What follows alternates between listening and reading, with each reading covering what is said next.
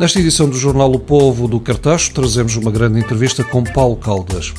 Na hora da despedida, o autarca acusa os eleitos do Bloco de Esquerda de falta de dignidade. Diz que o PSD precisa de um líder e de um projeto e apenas deixa palavras de apreço à CDU.